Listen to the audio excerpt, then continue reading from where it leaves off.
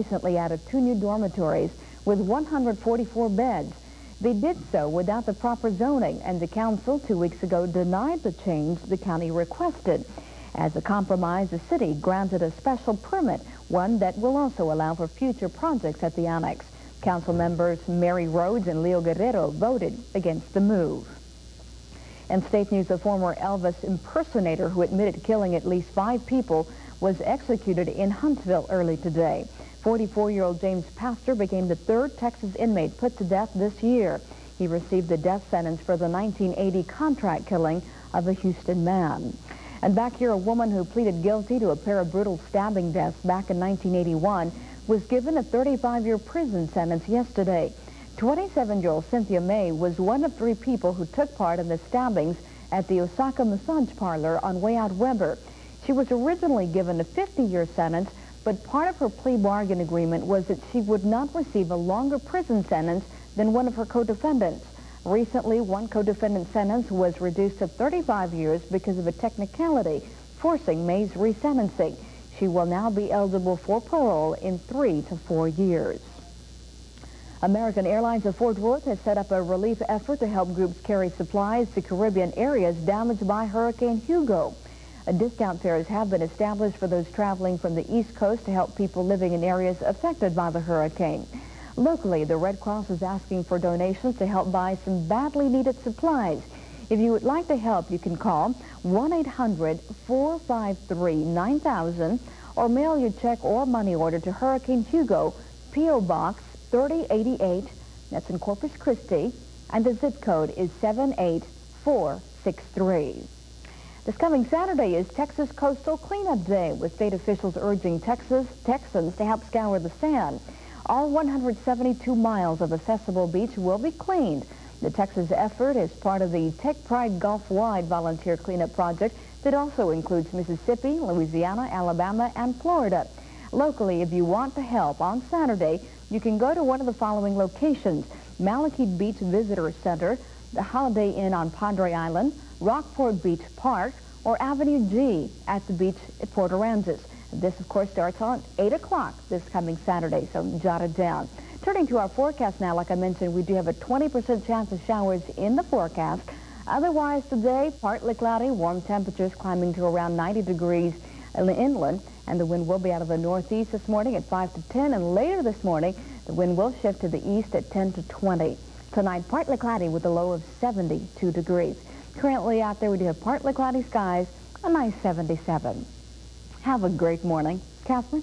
Thank you, Esther. Joining us this morning, Tom Hunt. Good morning, Tom. How Good are morning. you today? Fine. Are you pleased with the uh, ethics code? Are we down, done? Can we move on to something else I, now? th I think we have and we should. Uh, yes, I believe that everybody was in agreement that this was a very good ethics code. There was a little glitch on file, a citizen filing a complaint, but they resolved that. Mm-hmm. And uh, so, yes, we should move on. It's, it suffices.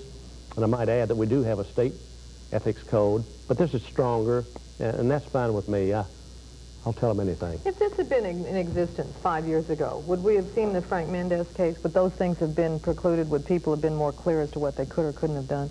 I'm not sure, Catherine, really, whether, uh, yes, I guess, uh, uh, probably that wouldn't have come up, the Mendez, uh, Because it would have been clearer to him, do you think, what he correct. could or couldn't do? that's correct. I think would have been clearer, and, and it, it, we, we would have had uh, the information on file as to his, you know, the amount of business done Mm-hmm. and so forth. So it could very well have precluded that incident. Okay, courthouse, that seems to be in the news again, has been since, what, 76, is that, or Around 77? 77, yes. Charles Bennett bought it, he was going to turn it into a mall, and then tough times hit Texas and I guess Mr. Bennett, and we didn't, we didn't build it. So what now, the council wants to tear it down, or Uh, what's the I- feeling I, I think the majority uh, want the council, I mean, want the courthouse to come down. Who? Well, give me a Uh, well, I, I believe Cliff, Cliff, well, I hate to, to speak for somebody else, but I've heard comments and I'd hate to put a name on it, but I, just the general consensus I've felt Mm-hmm. that they, they do want that. See, it's been since 77. We spent an awful lot of time, resources.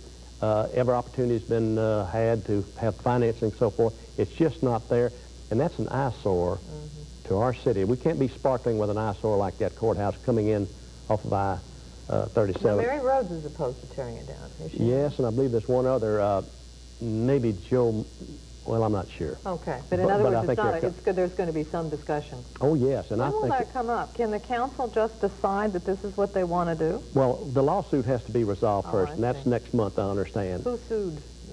Well, uh, there's a lien for taxes uh, against the uh, Charles Bennett and the Sunbelt Savings, I believe. Mm-hmm. And it's kind of involved, really, because we get in the Texas Landmark Commission, because this is a historic uh, landmark and so forth. Mm-hmm. So it kind of gets a little involved. But we've got to get the lawsuit behind us. But I hope that we can resolve that and, and, and tear down that Whose courthouse. responsibility would, be, would it be to tear it down? Would the city have to Well- pay to tear it down? Uh, probably so, if it ends up, if it's our uh, property. Even though it's private property now, are you saying because they owe income tax on it, the city would foreclose on it, or what? I mean, well, how would uh, that y- work? yes, they have to uh, foreclose with those taxes that are due, and uh, it wouldn't be something we'd want, want to have to tell you the truth, because it's going to cost a ton of money say, Mr. Fiscal Responsibility, how much is that going to cost us? I have no idea, but it's going to be a lot, In Catherine. the everywhere. hundreds of thousands, wouldn't Yes, you guess? absolutely, and uh, so it's something we really didn't want to inherit. It's Mm. too bad. I think they gave it their best shot.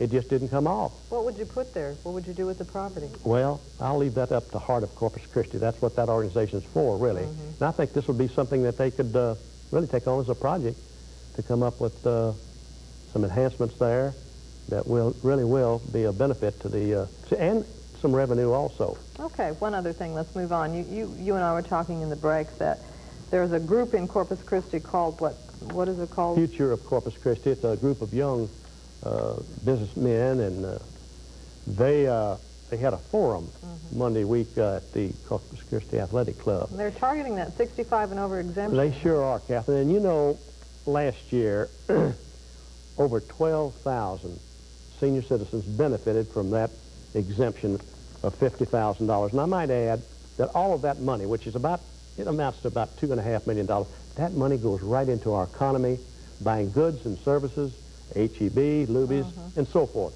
It does give those over 65 a little benefit, and you- you'd think after 65, Catherine, that they're entitled to that, really. They What- worked hard but and the. Future of Corpus Christi organizations who tend to be younger people, what are That's they saying? correct. Are they saying well, they just think it's fair? unfair that they, they're not getting the same thing. And I have to say this. I think our gen- younger generation, some, think they should have it now, Catherine. You know, senior citizens worked long, long, long time to accumulate what they have today. And to have that same group, I mean, that young group saying, we want it now, is a little bit unfair, I think. Or are they saying, and I, I'm really not familiar with what they are saying, but are they perhaps saying that maybe exemptions aren't fair? Everybody That's lives their- in the that's- city. that's their point, They're not saying they want an exemption. They're just saying it's not fair to give 65 and over an ex exemption, who But- may, in many senses, be more economically sound to, to, to spend money than the younger people that are working with the young families. Well, again, that's been brought up, that the ones on Ocean Drive benefit. But, Catherine, they pay more taxes than anybody else. They're entitled to it, too. I don't begrudge their having their share Is also. that going to come up? Is it going to be an issue I, that the I council think will after have that, to deal with? I think after the meeting that they had, where the senior citizens were represented there four to one, Mm-hmm. they got the message, and I don't believe the council will touch it with a 10-foot pole. I really don't, Catherine. And like, like I say, many cities give more than we do. Mm-hmm. San Antonio gives 60000 They have a lower tax rate. Austin gives more. Uh, Dallas. So we're not alone. It's, it's mandated by the state. The amount that's given is up to the city. All but right. this does give the senior citizens a break, and I think they're entitled to it. And I'm one of those, too. No. Yeah, yeah, I hate Hard to admit. believe. Coming up, a young lady, I'm going to talk to Tom. I asked her how old she was in 1969, 1970. I won't ask you, and I'm not going to say how I old was. Dana Delany of China Beach was only 13. We'll talk with her about her hit series here on ABC called China Beach in a moment. Stay with us. Hi, my name is Alma Vestinais, and I'm a medical assistant student here at CBM Education Center. Hello, my name is Jeannie Clement. I'm a graduate of CBM Education Center, currently working as a dental assistant. I think my education here at CBM is going to prepare me for my future. CBM gave me the training that I needed to prepare me for my job. I'm very happy here at CBM, and I would definitely recommend my friends come here. For dental or medical career training, call CBM Education Center today. It's day one of the $4 million Stellathon savings at Paul York, the best time in the past decade to make a buy on a new car or truck. Up to $2,000 cash rebates on 26 models of Toyota. Zero down, 139 a month on the truck of the year, the Toyota 4x4 trucks. factory invoice price are below. Or all Corollas and Camrys, factory invoice price are below. 10,995 for the air-conditioned Camry at Paul York, America's number one family sedan. Right now at Paul York. I like my car, but it's kind of boring. Yeah. It's got to be more like me. Ooh. I want to make a statement. Yeah, that's me. Drive to Ziebart. Find out what your vehicle has to say. Today at Ziebart.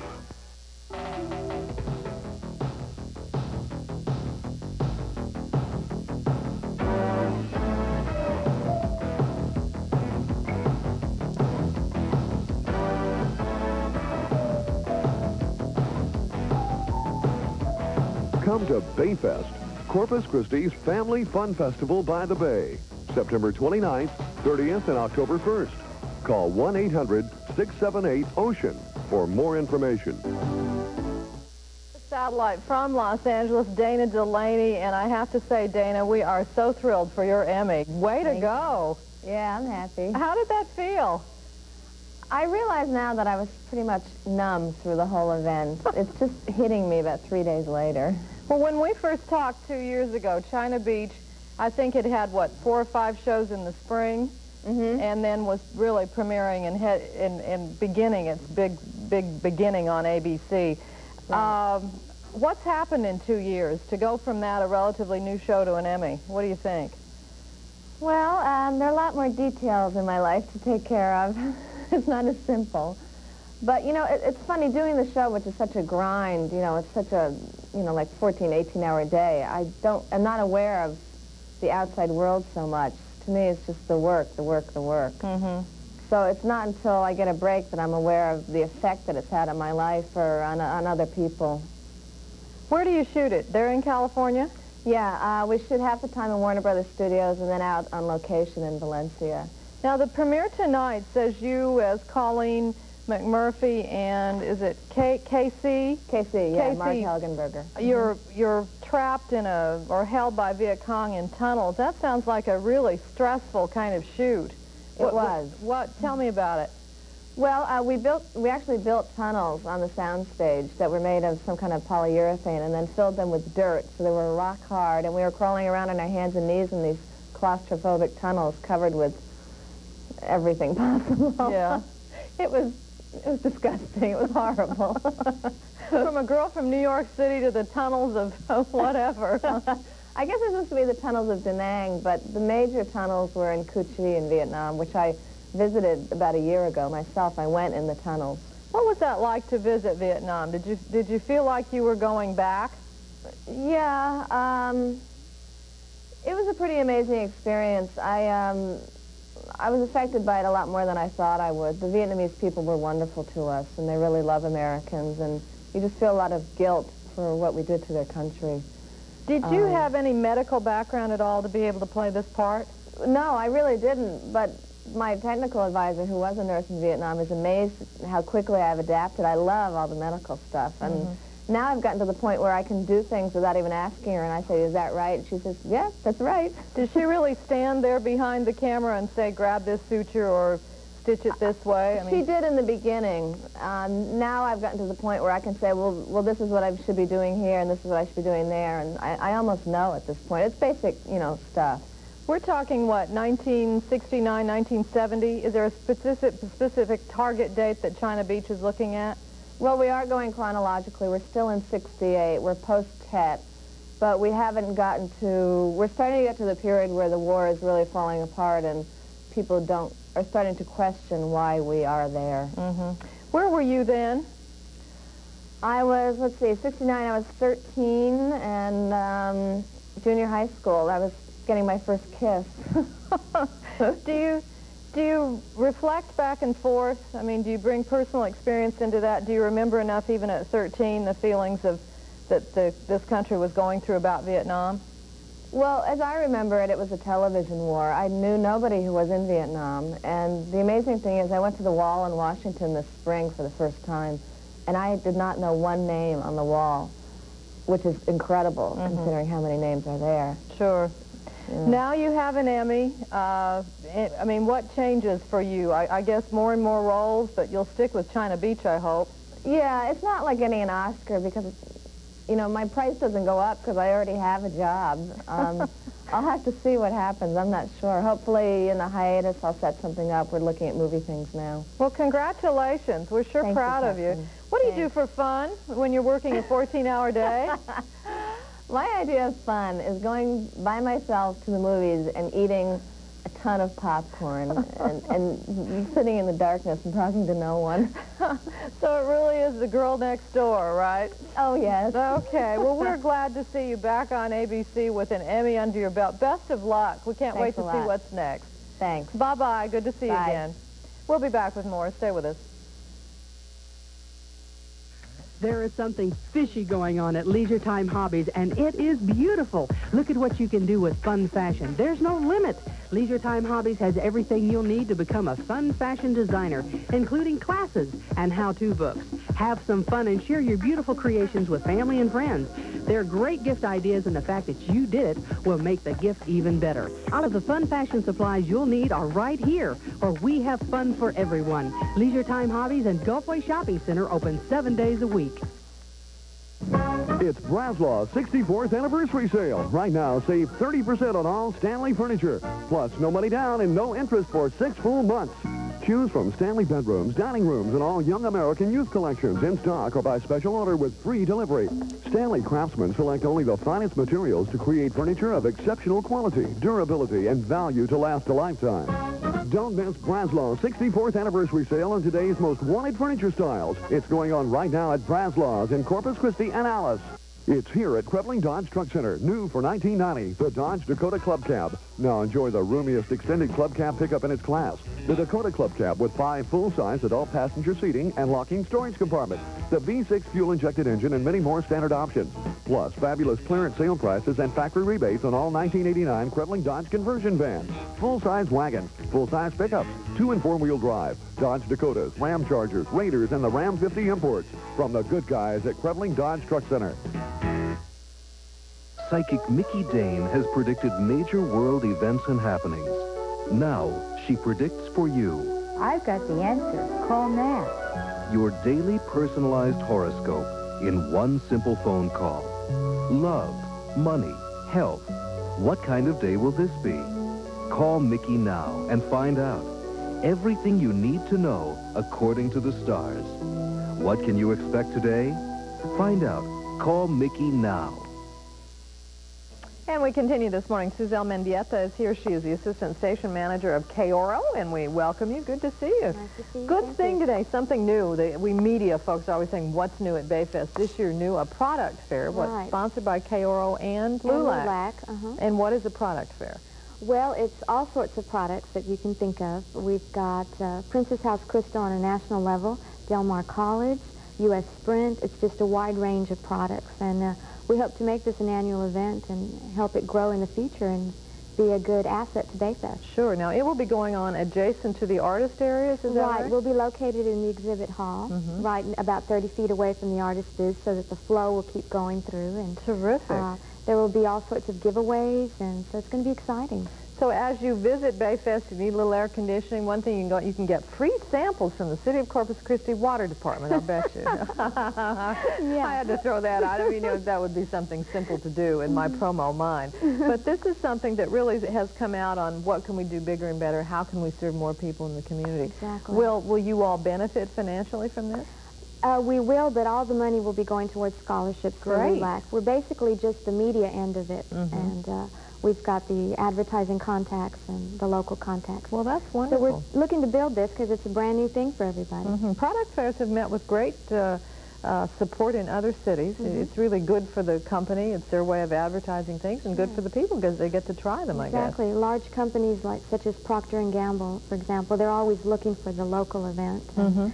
So we hope for these big companies to take a look at what we're doing and get on board with How it. much do you hope to raise for the scholarship fund? It's hard to say at this point, uh, being that it's the first year. We'll be doing great to cover our expenses the first year, but Mhm. we're hoping to, to build it to something substantial in the future. Well, that's terrific. Again, that will be during Bayfest. As you see, we're coming up in, I guess, week from Friday, September the 29th, 30th, October 1st, right there on the Bayfront. It's called a product fair. Right.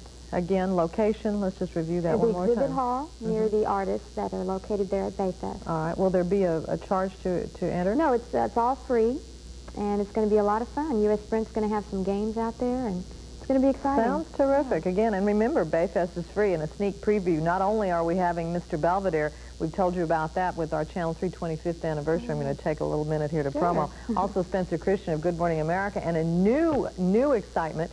Candace Cameron of Full House is going to be here as well. Kirk Cameron's little sister. She's Mhm. going to be with us on our big uh, Friday night 25th anniversary for Channel 3 on our stage in the Water Garden. So after you visit that, dance to Johnny D, you can go on over to the product fair. You'll be there at night as well. Yes, uh-huh. All right. We'll be um, the same hours as Bayfest itself. Good. Well, congratulations. We're Well, glad to thank see you. that Thank happen. you very much. We'll be back as we tell you about Hank the Cowdog and why the author of the book is coming to South Texas. Son not performing to your expectations in school. My son had problems with his schoolwork, but with the help of Chancery Learning Center, he has shown much improvement. The certified teachers at Chancery Learning Center diagnosed Tim's weaknesses and developed a personalized one-on-one program of instruction. Tim's confidence in grades improved as he mastered new skills in reading, writing, and comprehension. Chancery Learning Center worked for us, and it'll work for you. They guarantee it. Chancery Learning Center in Pueblo Park Mall. Remember when you got full service with a fill-up? Caesar's Texaco remembers. That's why Caesar's Texaco checks all four tires and the spare. Checks belts and fluid levels. Vacuums the entire car and trunk and even offers you a free cup of coffee, soft drink, or candy bar with every fill-up. Bring your car, van, Suburban, or pickup to Caesar's Texaco for a car wash, wax, and blow dry for only 50 cents. And try Caesar's new underneath washing system. Come to Caesar's Texaco, your full service station. Caesar's Texaco, airline in Alameda. The Creative Arts Center presents live performances back for a second season with four great shows for the entire family. Beginning Saturday, October 14th, ventriloquist Ron Lucas brings Buffalo Billy and his cascade of characters to Corpus Christi. In November, Jack Adams presents his incredible Merlin Magic Show. February brings Wind in the Willows, an action-packed comedy with unforgettable characters. And Don Oliver leads a musical journey through black music in March. Buy your subscription to all four shows for only $20. Call the Creative Arts Center today at 888-5692. Nissan is number one, and to celebrate this week, we're offering the number one selling import in its class, the Nissan Sentra, for only $59.99 or zero down, 129 per month. Drive home the tough Nissan hardbody pickup, reduced to $67.95 or zero down and 139 per month. Race away with the number one selling import sports car, the powerful 240SX, unbeatable at 12,999. And the most trouble-free car sold in America today is the Nissan Maxima, yours for only $16,489. Nissan, the best deals under the sun. Young and old love the books called Hank the Cowdog. I know my son does. That's where I first met Hank. Uh, it, he's only 10, but we're joined by Betsy Sadler to tell us how John Erickson really appeals to many, really a variety of people. Why so? Why has his appeal been so broad-based? Well, you can take him on two levels. He appeals to the children just with a straight story, but if you look underneath the personality of Hank, it just, it, he's kind of cantankerous, but he's just Humphrey Bogart type of a hero, and he just really appeals to adults as well, men and women. I've, I've known people that look like Hank the Cowdog. It's that eye. It's that wary look. You know, we won't say who, but we all know that there are those in Corpus Christi that could be Hank the Cowdog. But he really, he's a wonderful character. He's a good soul, right? Good-hearted fella. Yes, he's just he's just fabulous, and he's just so amusing. And there's so many other characters in the book mm-hmm. that also just about everybody can identify with one or more of the characters. Now, John Erickson is coming where and when, and, and actually, if you have a young or an older reader in your home would like to meet the author of Hank the Cowdog, you can do that. Right, he's coming on Sunday, September 24th at 3 o'clock to the Henrietta Memorial Center in Kingsville, which a lot of people know it as the Ice House, and it's on 6th Street. And uh, this John Erickson, he's just a really amusing person. He does all the voices of all the characters. Oh. He's written 20 songs. He plays the guitar and sings lots of songs. And he's just a real personable guy. And he'll remain afterwards. We'll have all of the books available for sale. There's also T-shirts and posters and the cassettes. And he'll autograph any of the books. And they make wonderful Christmas presents. And it just, uh, I know his last, the 13th, the most recent book in the series, Hank and the Wounded Buzzard on Christmas Eve. Mm-hmm. That would make a really neat Christmas gift for someone, and you could have the author personally inscribe the book. Oh, that's terrific. And keep in mind, so oftentimes it's hard to find books that are good for kids, particularly the age I'm looking for, which is like that 10 to 12, 10 to 13 age, where the kids' books aren't quite quite right and the adult books aren't. Right. And this is evidently a great one. Perfect. And it's wonderful, and again, you can benefit. Uh, is it the Robert Kleberg Library? or- Right, it's our public library in Kingsville, Robert J. Kleberg Public Library, and our organization is called the Friends of the. Kleberg Public Library. And we're a nonprofit group. All our money goes straight to benefiting our library.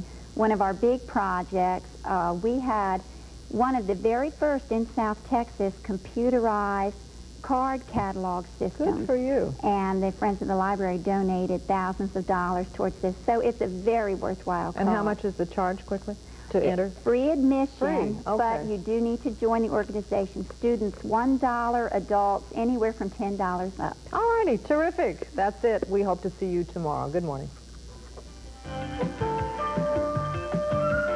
Catherine's Wardrobe by Jack English for men and women.